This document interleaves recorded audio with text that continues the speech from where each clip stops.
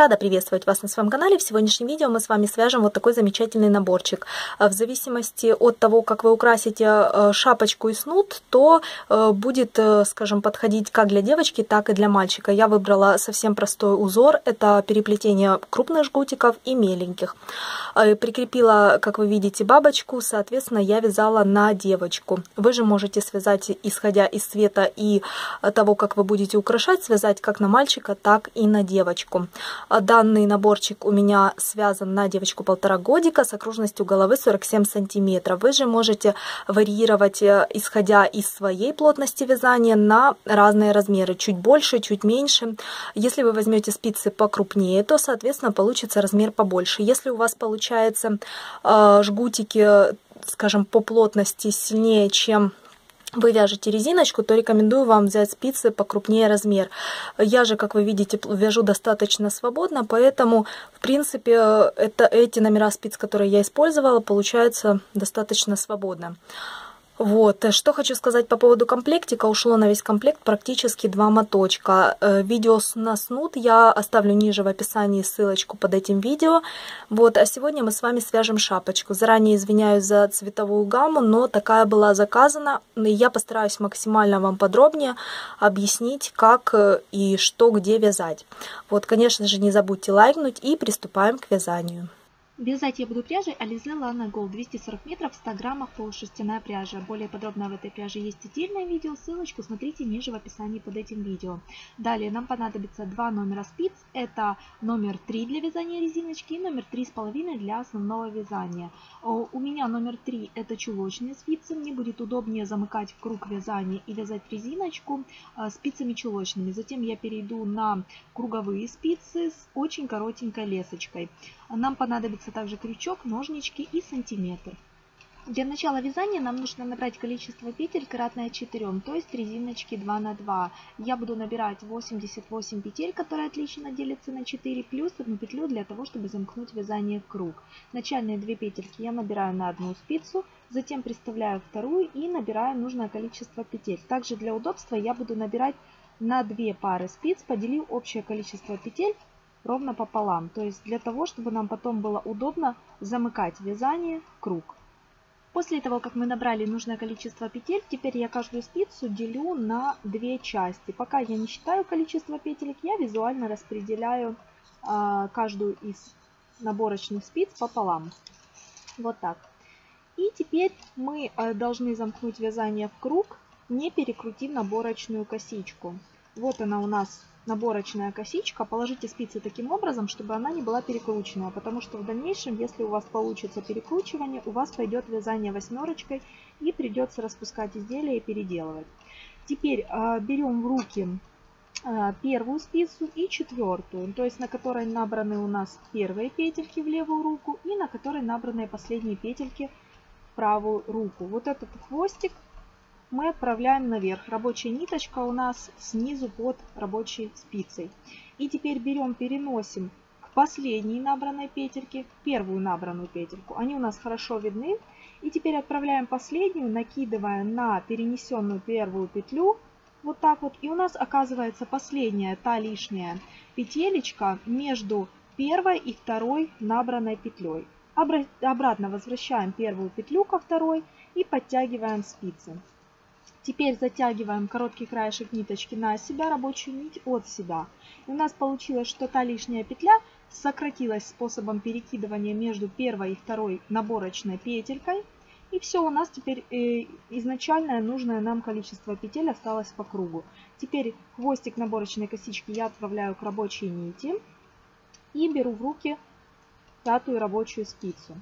И теперь далее, смотрите, мы должны связать первый ряд распределения резиночки 2 на 2, то есть чередование двух лицевых, двух изнаночных по всей окружности. Я начинаю вязать двумя ниточками, то есть рабочей хвостиком, для того, чтобы спрятать наш хвостик ниточки. Итак, вяжем 2 лицевые, далее 2 изнаночные. Снова 2 лицевые, Хвостик я бросаю, он уже у меня завязан. И далее продолжаю вязать 2 изнаночные. Снова 2 лицевые, 2 изнаночные, 2 лицевые, 2 изнаночные и так далее.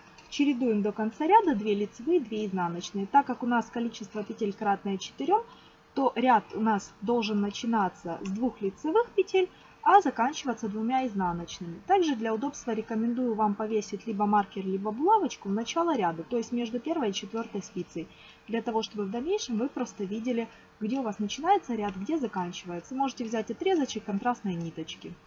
При вязании на четырех спицах очень важно, чтобы на изделии потом не было разделительных полосочек, поэтому рекомендую вам каждую спицу, если вы вяжете точно так же, как и я на чулочных спицах, начинать с двух лицевых и заканчивать на двух изнаночных. И так абсолютно-абсолютно каждую. Неважно, распределите вы по, а, скажем, а, определенному количеству, чтобы было кратное 4, либо же именно непосредственно на 4 части разделите, но я вам рекомендую начинать именно с двух лицевых и заканчивать двумя изнаночными. Тогда у вас получится аккуратные, подтянутые, красивые края в начале каждой спицы и не будет никаких полосочек. Я довязала первый ряд до конца, ряд распределения, и теперь по а, петелькам, которые я связала в первом ряду, я так и буду продолжать. Над двумя лицевыми вязать 2 лицевые, над двумя изнаночными 2 изнаночные. Лицевые я буду вязать за вот эти передние стеночки, вот так вот 2 лицевые.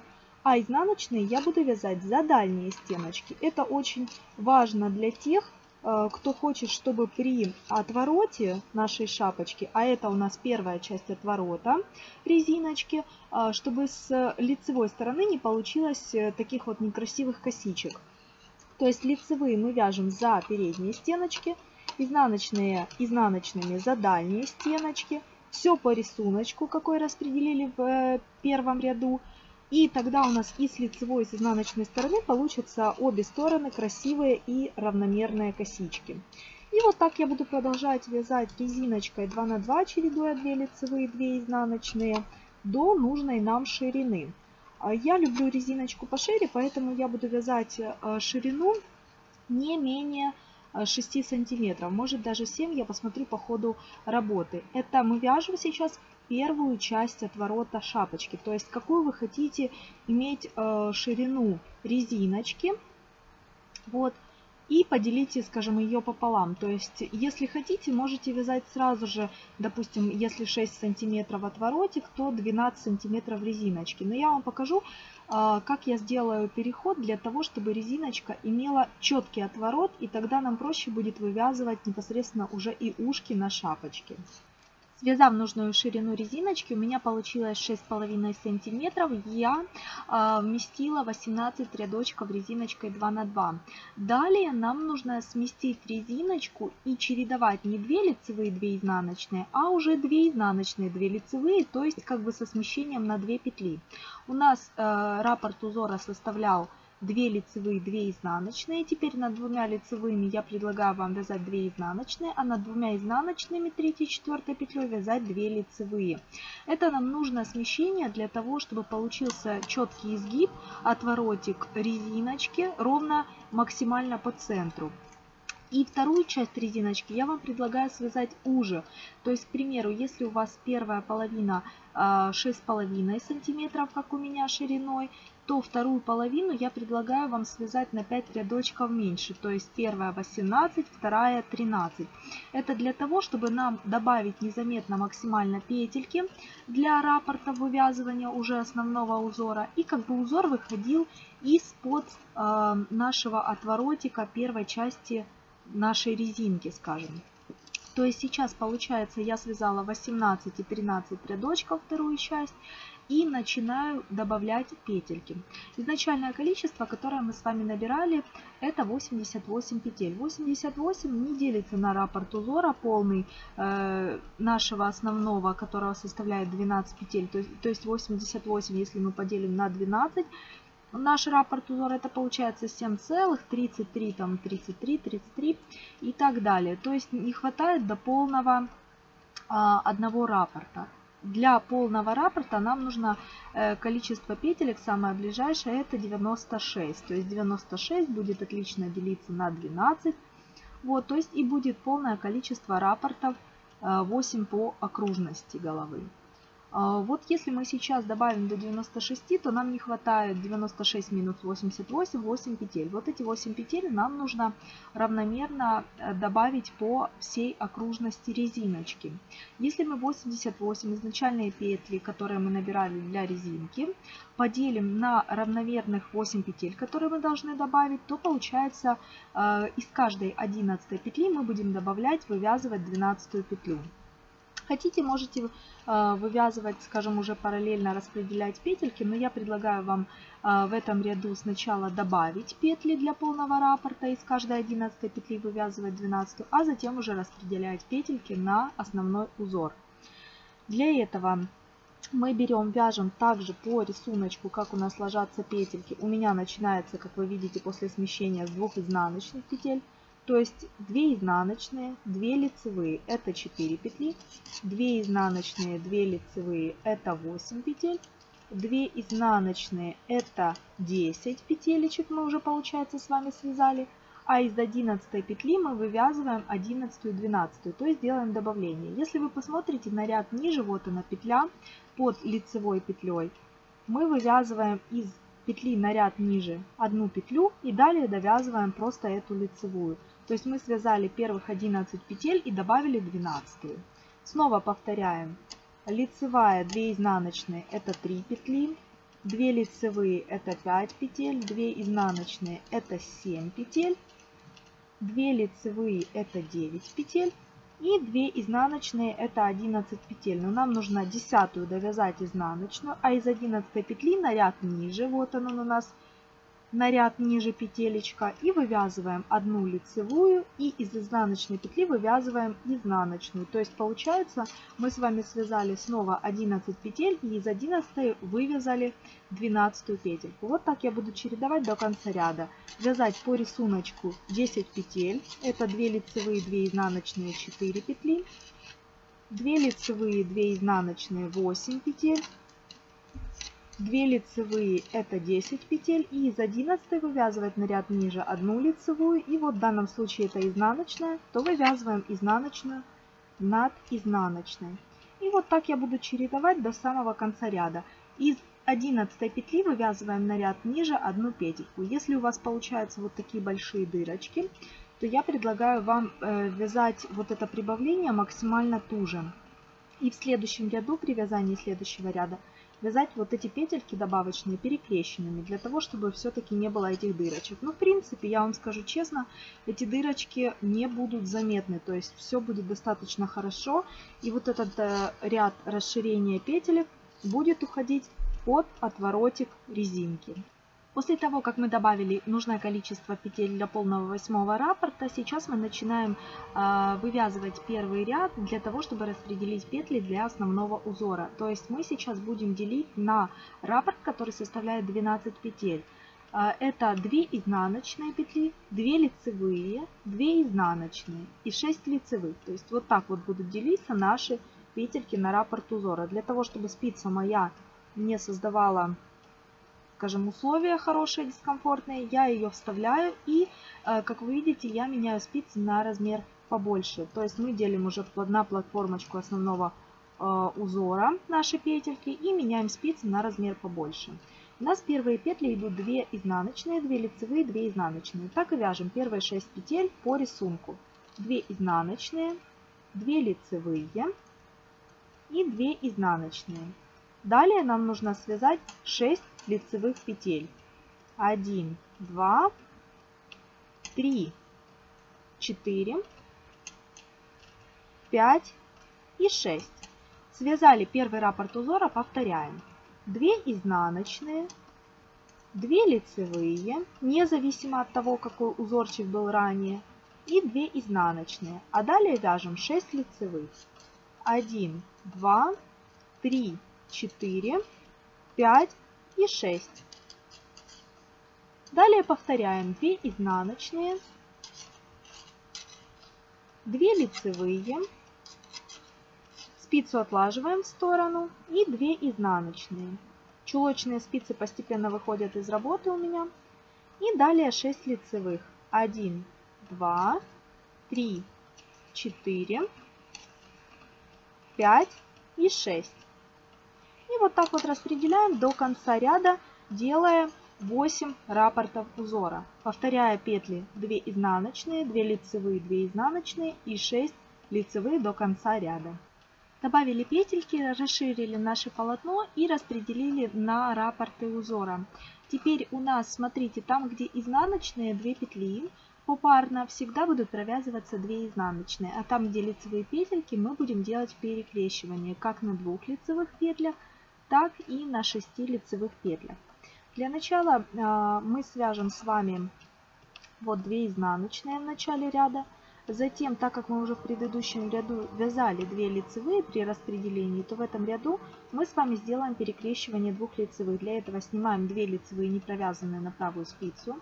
Затем на левую возвращаем, заводя перед работой петлю сначала первую переодеваем на левую спицу, а за работой переодеваем вторую и ставим на месте первой. И теперь провязываем поочередно сначала одну лицевую петлю и затем вторую лицевую петлю. Так мы сделали с вами перекрещивание с наклоном в левую сторону. Далее снова у нас идут 2 изнаночные, мы так вяжем над двумя изнаночными, 2 изнаночные и продолжаю изнаночные вязать, как вы видите, за дальние стеночки, для того, чтобы они не были перекрученными. Далее у нас идет 6 лицевых. Мы где 6 лицевых, пока так и вяжем 6 лицевых, ничего не меняя, это у нас получается просто пока вяжется без изменения. Далее связали наши 6 лицевых петель и повторяем раппорт заново. Там, где 2 изнаночные за дальние стеночки, мы вяжем 2 изнаночные.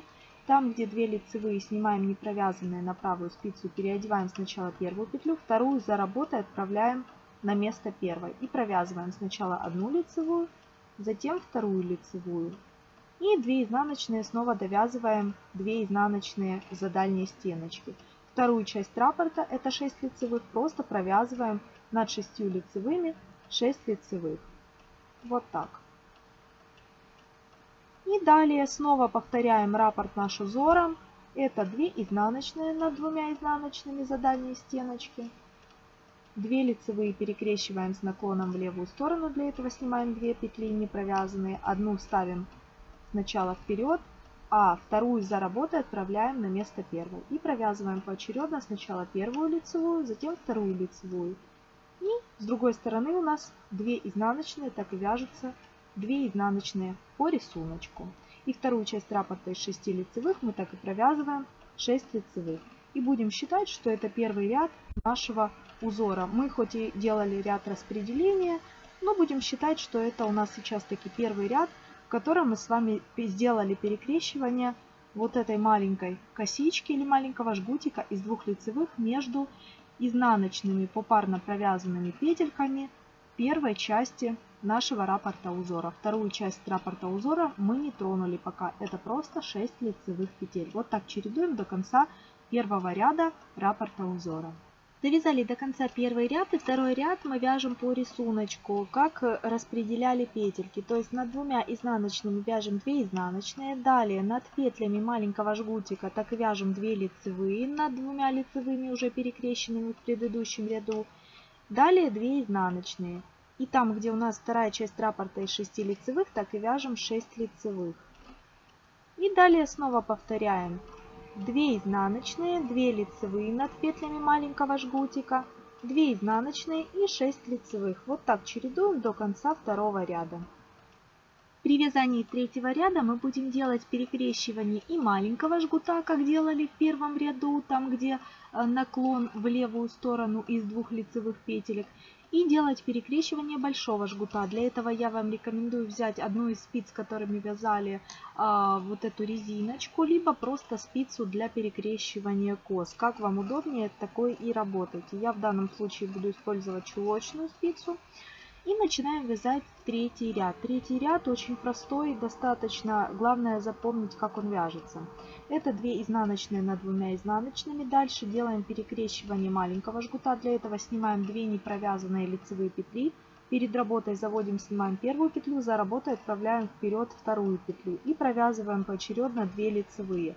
Вот так мы будем делать перекрещивание снова в левую сторону, как в первом и в третьем ряду каждый нечетный ряд. То есть заметьте, что мы в первом нечетном ряду сделали перекрещивание, второй ряд мы провязали по рисунку 2 лицевые. Далее в третьем сделали перекрещивание, четвертый у нас будет по рисунку. То есть в каждом нечетном ряду мы будем делать перекрещивание маленького жгута, а в каждом четном просто провязывать 2 лицевые. Я больше про это проговаривать не буду.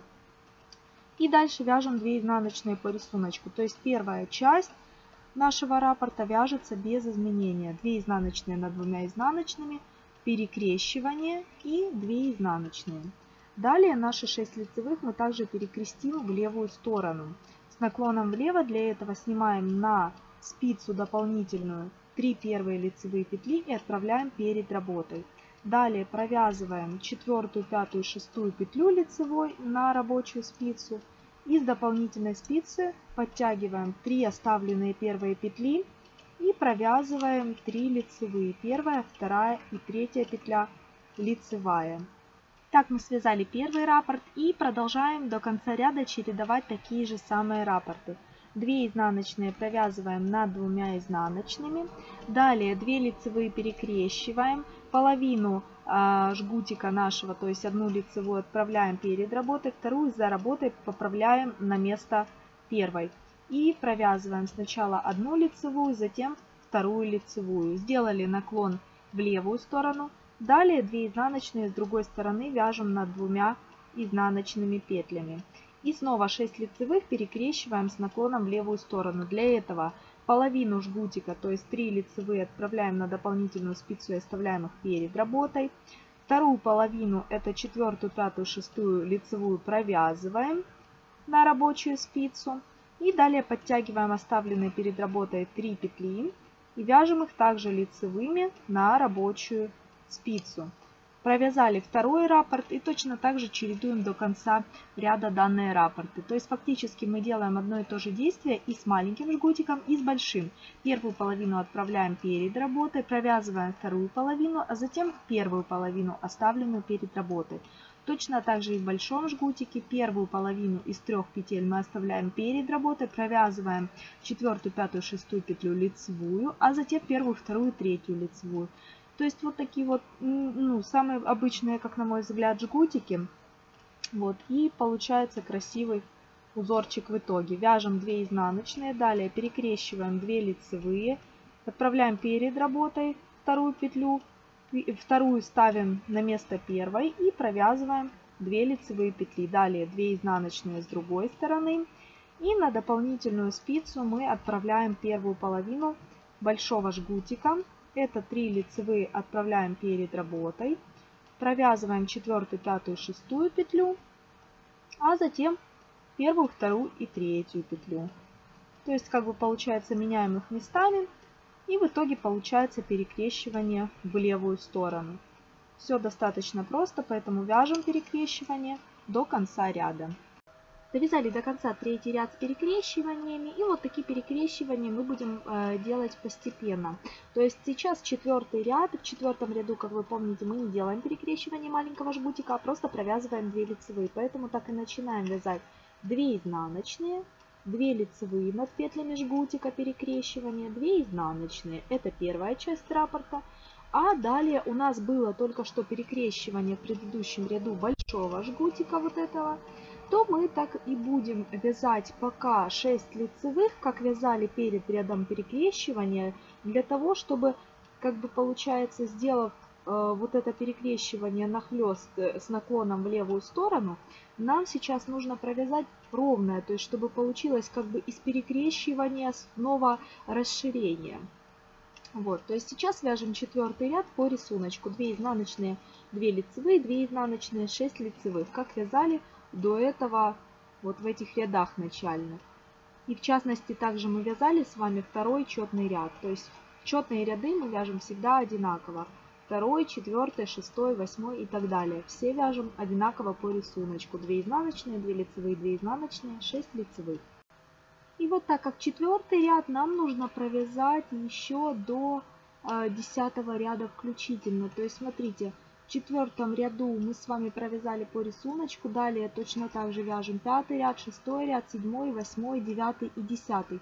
И в начале одиннадцатого ряда мы снова начинаем делать перекрещивание большого жгута и параллельно маленького. То есть маленького мы делали а, в первом ряду перекрещивания, в третьем, в пятом, в седьмом, в девятом.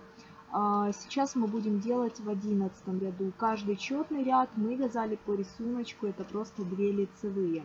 И снова нам сейчас нужно будет а, одна дополнительная спица. И начинаем мы вязание снова с двух изнаночных в одиннадцатом ряду. Далее перекрещиваем маленький жгутик Первая петля перед работой, вторая за работой отправляем вперед и провязываем сначала одну лицевую подряд, а потом вторую. Снова 2 изнаночные и на дополнительную спицу переносим первую часть большого жгута. Это 3 лицевые, которые мы оставляем перед работой. 1, 2, 3. Оставили перед работой четвертую, пятую, шестую лицевую вяжем на рабочую спицу. Далее с дополнительной спицы подтягиваем 3 оставленные петли и также вяжем первую, вторую, третью лицевую. После того, как провязали вторую часть, провязываем первую часть. Сделали перекрещивание, далее раппорт повторяем. 2 изнаночные, 2 лицевые перекрещиваем с наклоном влево, за работой отправляем вперед вторую петлю, провязали 2 лицевые поочередно, Затем снова у нас 2 изнаночные. И на дополнительную спицу переносим первую часть из 6 петель большого жгута. Первую часть оставляем перед работой, первую, вторую, третью петлю, перенеся на дополнительную спицу. Далее четвертую, пятую, шестую провязываем лицевыми. И с дополнительной спицы первую, вторую, третью петлю провязываем также лицевыми. Вот так вот мы, провязав в одиннадцатом ряду до конца ряда, чередуя этот раппорт. И у нас получается вот такие перекрещенные большие жгуты и маленькая вот такая красивая косичка. Вот этот раппорт мы будем повторять, начиная э, с третий ряд как одиннадцатый. Далее мы вязали с вами четвертый, пятый, шестой, седьмой, восьмой, девятый и десятый ряд. 7 рядочков по рисунку без изменения. Вот. И далее снова мы, получается, 12, 13, 14, 15, 16, 17, 18 ряд провяжем по рисунку, чередуя перекрещивание с просто лицевыми петлями в каждом четном ряду, а в нечетном перекрещивании. А далее в 19 ряду снова сделаем ряд как третий, как одиннадцатый с перекрещиванием. И вот так будем продолжать чередовать вот такие несложные ряды с перекрещиваниями большого и маленького жгутика.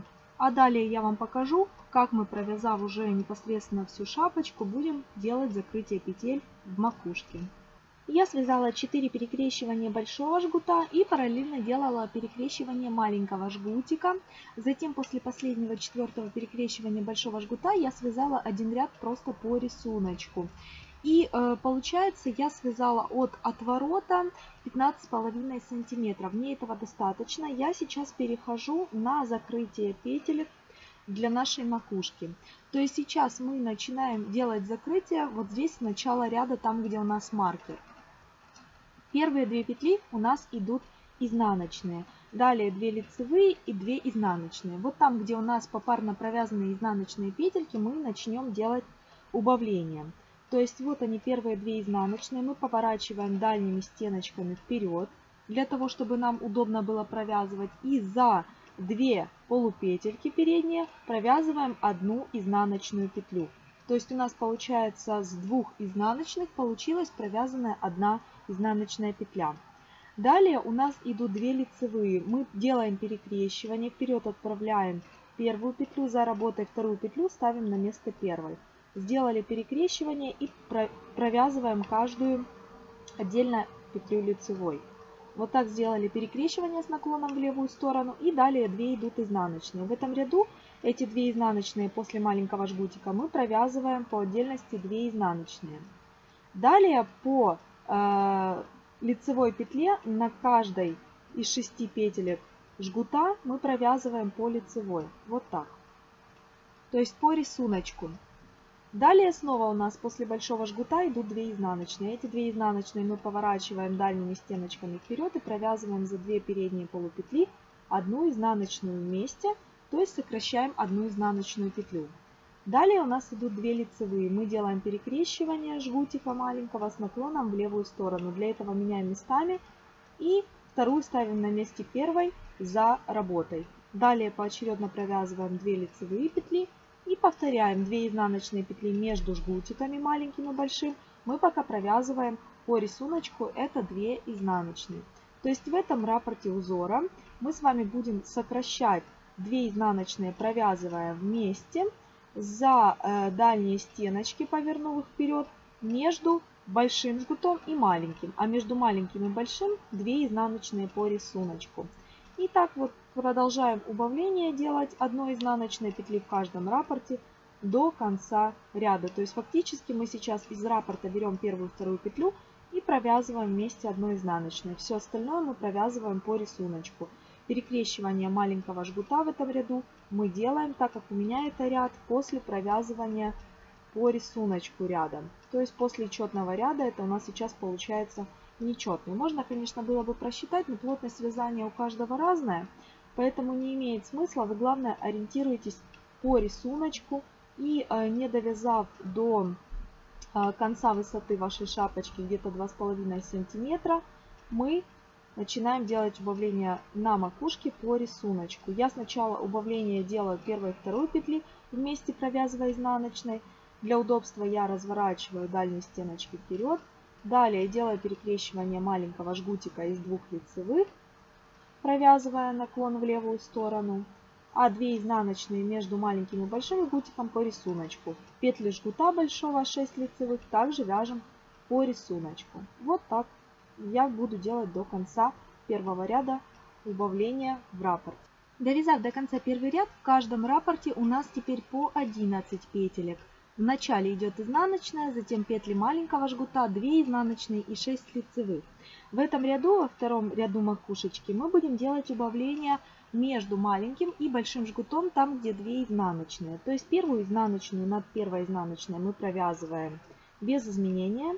Далее петли жгутика мы только что перекрестили в предыдущем ряду, поэтому это идут две лицевые по рисунку, это четный у нас ряд второй, и по рисунку раппортом также это четный ряд. Далее, там где 2 изнаночные, мы снова разворачиваем дальними стеночками вперед и провязываем вместе 2 изнаночные одной. То есть теперь у нас раппорт сократился на 2 петли.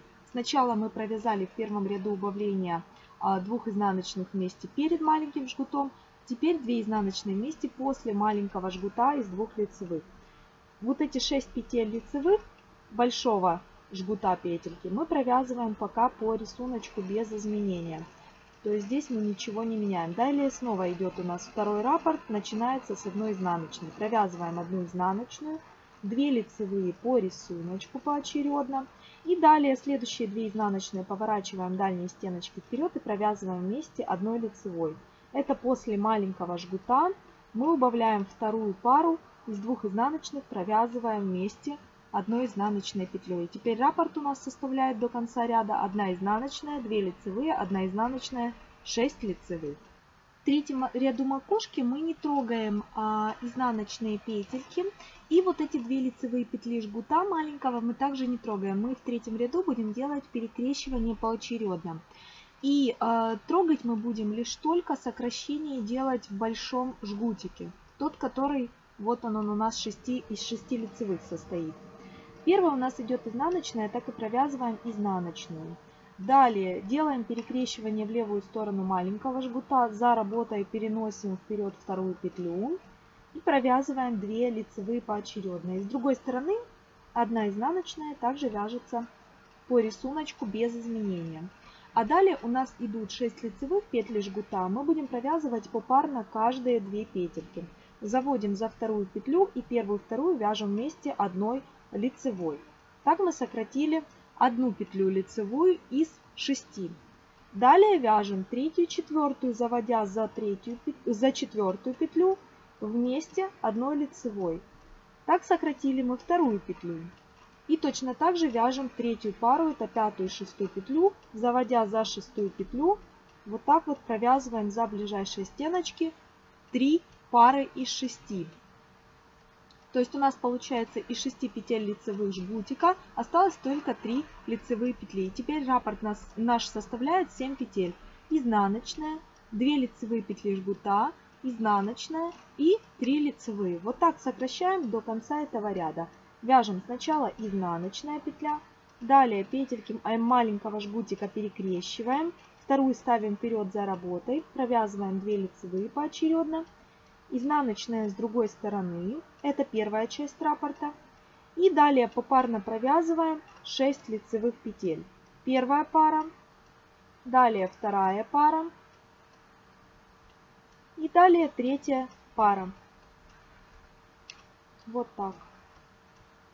Все вот таким вот образом сокращаем до конца этого ряда. Четвертый ряд мы свяжем просто по рисунку. Над изнаночной это изнаночные петли, над лицевыми лицевые петли. Первая петля изнаночная, далее 2 лицевые после ряда перекрещивания. Одна изнаночная и 3 лицевые петли большого жгутика. Четвертый ряд мы вяжем по рисунку, который сформировали в третьем ряду убавлениями. Пятый ряд это нечетный ряд, поэтому ряд с перекрещиванием маленького жгутика. Начинаем ряд с изнаночной петли, далее перекрещиваем петли маленького жгутика, за работой отправляем вторую петлю на месте первой и обе петли поочередно провязываем 2 лицевые. Далее с другой стороны вторая изнаночная петля и у нас идут 3 лицевые петли, которые у нас были из 6 петель большого жгутика. Первую лицевую мы так и провязываем лицевой, а далее третью и вторую петлю, заводя за третью петельку, провязываем вместе одной лицевой. То есть у нас уже вместо 6 2 петли осталось лицевые. И раппорт составляет у нас всего лишь 5 петель. Изнаночная, 2 лицевые, перекрещенные маленьким жгутиком, 1 изнаночная и 2 лицевые. Вот так продолжаем чередовать до конца ряда. Изнаночная, перекрещиваем маленький жгутик, вторую петлю отправляем на месте первой за работой, Поочередно провязываем каждую петлю лицевую, с другой стороны 1 изнаночная. И далее из трех петель первую провязываем лицевой, вторую и третью вместе одной лицевой. То есть делаем убавление. Вот так чередуем до конца этого ряда.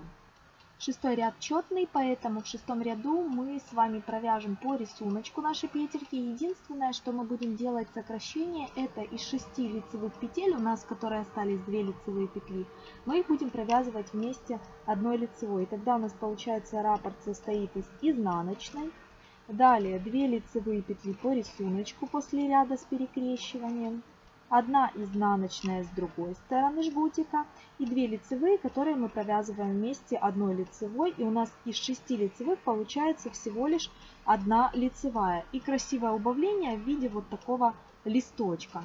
Изнаночная, 2 лицевые, изнаночная, 1 лицевая. То есть вот они наши 5 петель. В прошлый раз я тоже говорила, что 5 петель осталось 6 петель. Я ошиблась. Но теперь у нас точно 5 петелек. Это изнаночная, 2 лицевые петли маленького жгута, 1 изнаночная и 1 лицевая с большого жгутика. Вот так чередуем до конца этого ряда.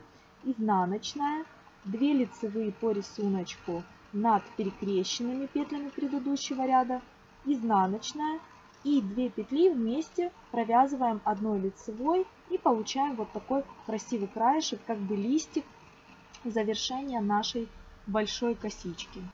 И в седьмом ряду мы сделаем такое убавление из маленького жгутика. То есть сейчас мы вяжем изнаночную над изнаночной первой.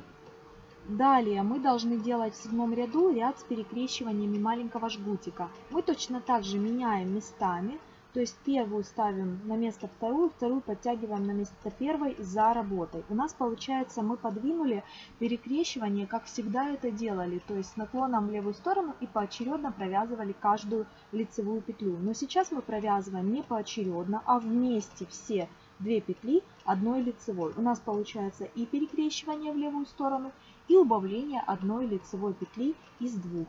У нас получается одна. Далее довязываем изнаночную и лицевую петлю. То есть мы убавляем в каждом раппорте еще по одной петле. И всего из 12 у нас остается 4 петли. Повторяем. Одна изнаночная петля. Далее делаем перекрещивание жгутиком. Вот так вот за работой отправляем на место первой вторую петлю. но провязываем не поочередно, а вместе 2 петли одной лицевой. И у нас получается и перекрещивание, и убавление. Далее до конца раппорта довязываем изнаночную и лицевую петлю.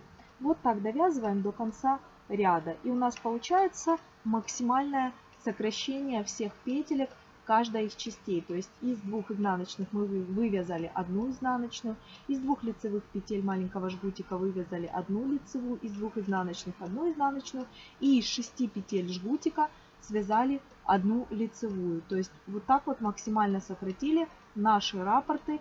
И у нас получилось из перехода основного узора в макушечку очень достаточно красивое и аккуратное постепенное убавление, вот исходя из нашего рисуночка.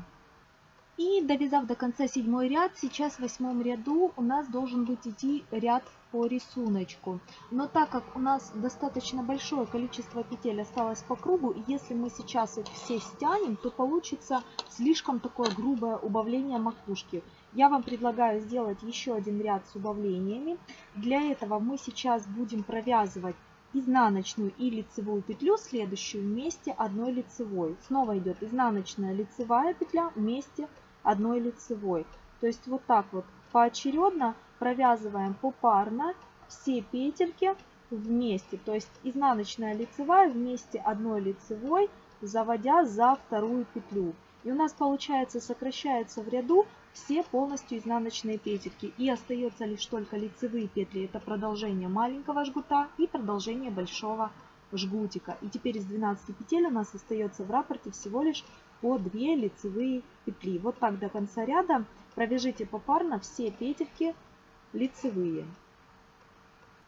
После того, когда вяжете восьмой ряд, я предлагаю вам один ряд связать просто лицевыми петельками. И оставшиеся петельки, у меня их 2, 4, 6, 8, 10, 12, 14, 16, я, а, провязав лицевыми просто петлями, сейчас предлагаю вам стянуть. Для этого есть два способа. Первый это, конечно же, крючок. То есть полностью продев все петельки на крючок можно сделать. Можно второй способ иглой и можно третий способ просто спицы. Для этого провязываем сейчас первую петлю лицевой. Вот так вот.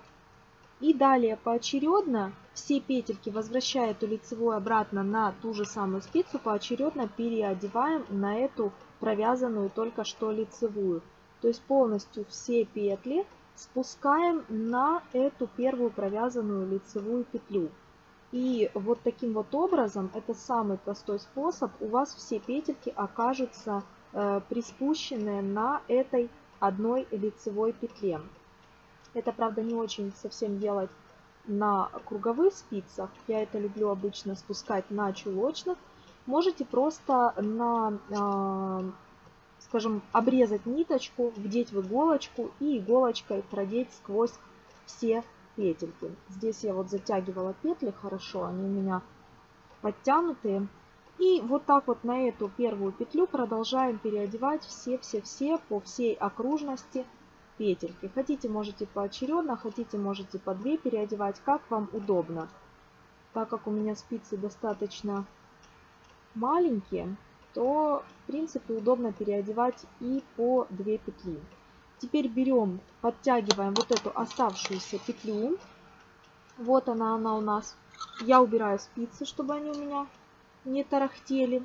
И у меня остается вот она, одна та рабочая петелька, на которой приспустились все петли. Для чего я вам предложила провязать один ряд э, лицевыми петлями, для того, чтобы не была стянутая макушка. То есть, если бы мы сразу после последнего ряда убавления, когда убрали все полностью изнаночные петли, сразу же вот так вот стянули все петли, то получилось очень таким вот э, пучком. Вот как сейчас я держу пальцы, вот таким пучком. То чтобы его не было, чтобы все было гладко и аккуратно, вот как сейчас, мы провязали ряд лицевыми петлями. А теперь берем эту петельку, подтягиваем то на крючке, вытаскиваем, то рабочую нить подтягиваем. Снова на крючке петлю, рабочую нить. И так пару раз сделав, мы берем, подхватываем рабочую ниточку, затягиваем ее.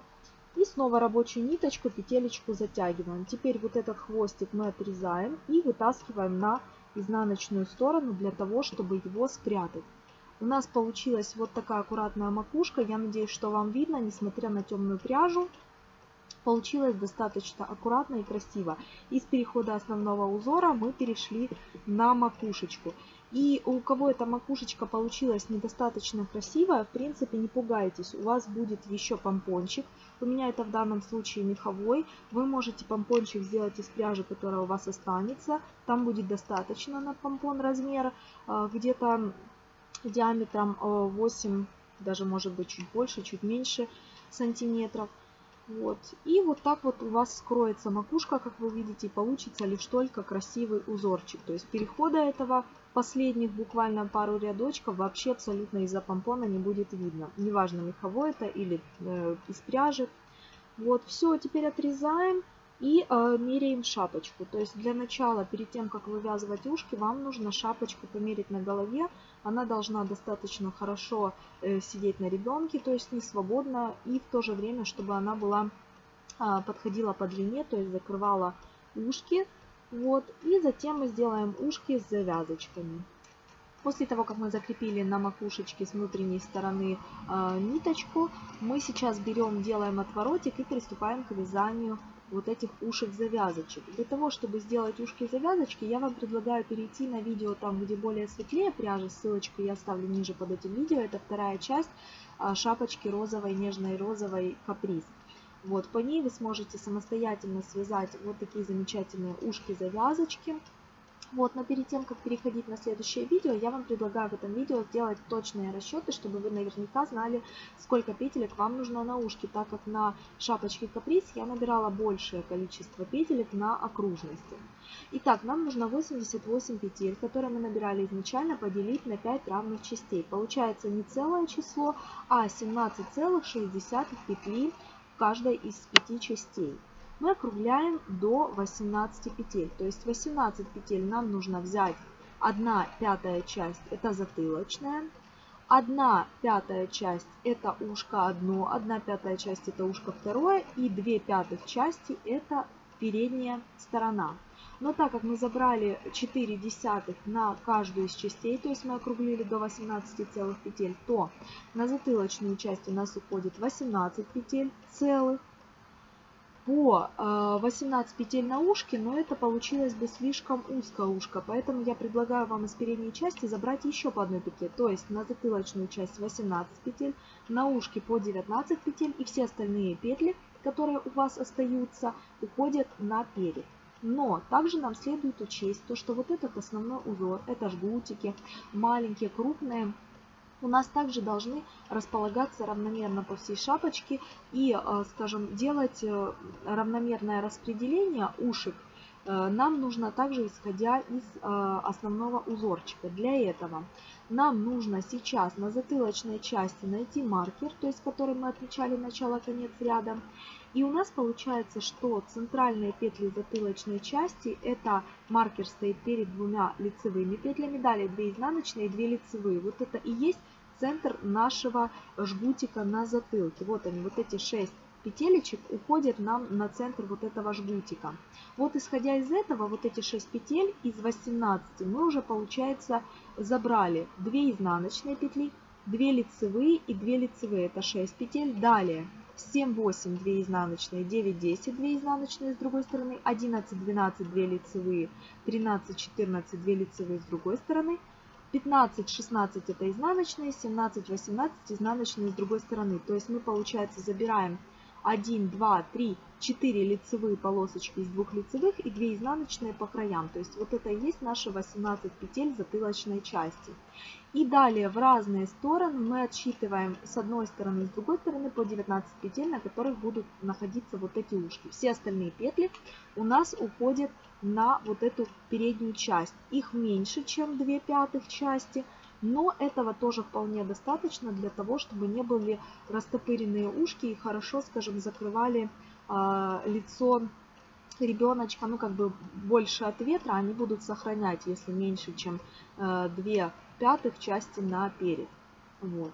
И здесь я расположила таким образом Э, наши ушки с одной и с другой стороны, чтобы на э, уровне двух лицевых с одной стороны и на уровне двух лицевых с другой стороны начинались ушки с обеих сторон. То есть даже получается здесь мы захватим по одной изнаночной. Вот так вот.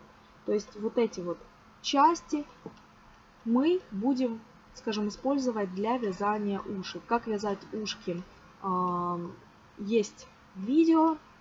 Вот там я вяжу на большем количестве петелек. Здесь я взяла меньшее количество петелек, но целом ушко вяжется одинаково. Затем мы закрепляем жгутики и получается замечательная шапочка. Снимаем маркер. Если были какие-то присоединения, мы обязательно с внутренней стороны фиксируем и прячем.